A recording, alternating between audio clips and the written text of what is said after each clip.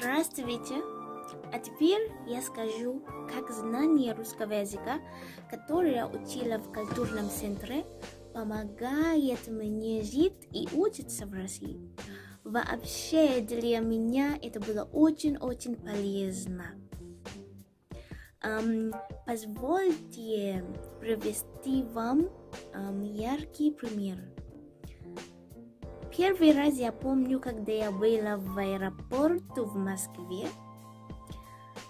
Эм, я хотела позвонить моей сестре, но, к сожалению, я не могла.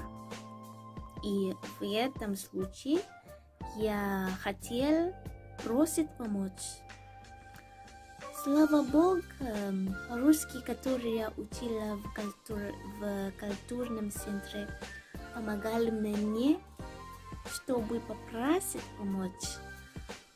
Эм, второй раз я помню, когда я была в университете, эм, я видела, что никто не говорит по-английски вообще.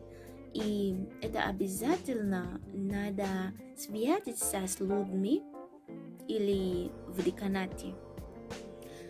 А, это я могла связаться с ним и понимать друг друга, потому что я знала чуть-чуть говорить по-русски, который а, я учила в культурном центре. И когда я начала, когда я начала с uh, урок, я видела, что люди уже начали, с... это было как один или две недели назад, и я было поздно.